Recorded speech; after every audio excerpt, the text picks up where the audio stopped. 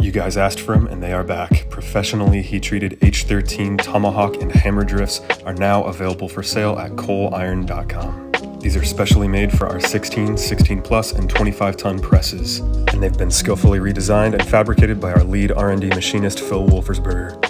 So if you're a blacksmith who's serious about upping your game and increasing your production flow and quality when it comes to hammer and axe forging, then we encourage you to check these out. They work in conjunction with our punch and stripper plates, which you see here, and you can find all of these products over on our website at coaliron.com.